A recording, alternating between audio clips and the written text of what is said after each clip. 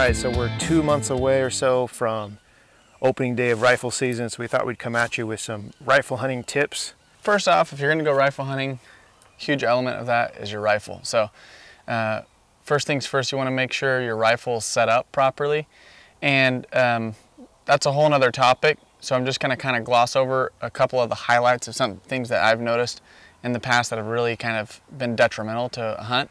Firstly is zeroing your rifle. So a lot of guys want to zero their rifle at 100 yards because that's just the way they were taught to do it or something that seems right. Um, we zero our rifles at 200 yards uh, just because if you zero your rifle at 100 yards, you're, by the time you get to 400, depending on the ballistics of your cartridge, you're going to see, you know, 16 inches of drop or something like that at 400 yards. If you zero at 200, there's like a negatable amount of drop at 100 yards or rise, you know, an inch maybe, and then at 400, you're only dropping like 8 inches instead of 16 or 17 inches. So it really, you know, kind of flattens the curve and um, gives you a, a longer reaching um, ballistic rather than having this big arc out there. So less adjustment on the turret essentially. The second tip would be um, most of the time when we're deer hunting, we're deer hunting at altitudes different from where we live.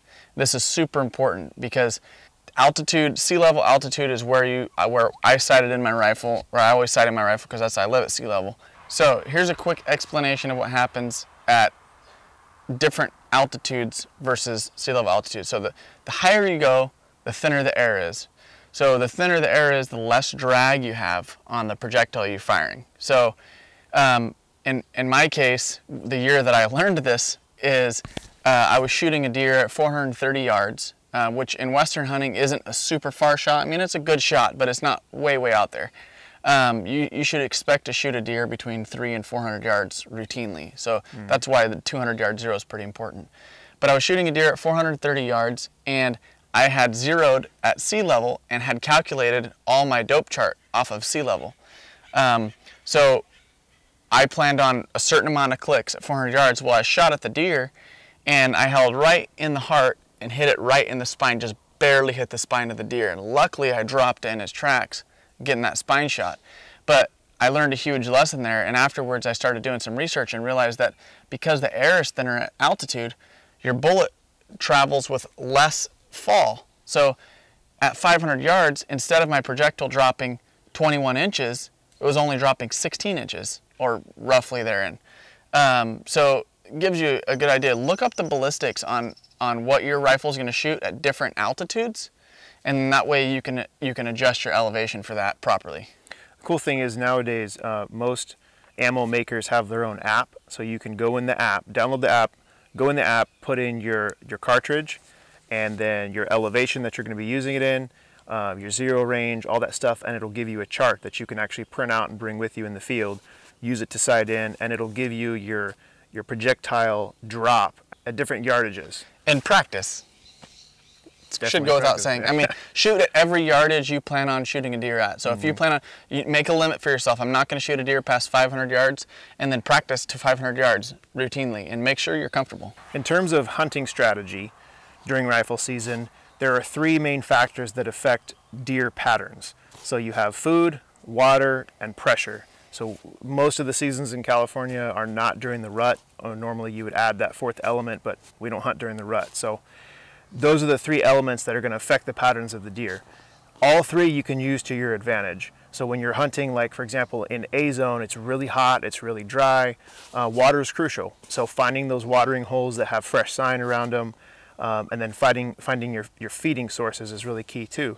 So especially during opening weekend and closing weekend of rifle season, you have a lot of activity in the woods. So a deer might not have heard vehicles consistently for 10 months and all of a sudden you have hundreds of rigs piling into the woods, guys hiking, guys are sighting in their rifle, which is stupid, don't do that by the way. Um, not during season. Yeah, not during season. Do it before season. before you get out to the field. All of that affects the patterning of the deer. So when you're, especially when you're looking at a new area, maybe you got drawn for a zone you've never hunted, and you're trying to figure out how to approach this zone. Well, what you want to do is look at your high traffic areas where guys are going to be coming in, and then look for escape routes away from that. So obviously your bucks are going to want to stick to heavy cover. Now I've watched rigs come through an area and then as soon as the area clears, I'll see deer cross the road from heavy cover to heavy cover. So they're smart. They know what they're doing. They know how to escape. So what you want to do is, like for example, if you see a cut, a good drainage where you'll, you'll have activity and you have a road at the bottom, well, you know the deer are either going to move down across the road and away or up over the ridge and away. That's just one example. Look for escape routes uh, of heavy cover and hunt edges. So you'll see transition areas like, for example, between a burn and a heavily forested area or between a clear cut and dark timber. Those edges are, are where they like to transition.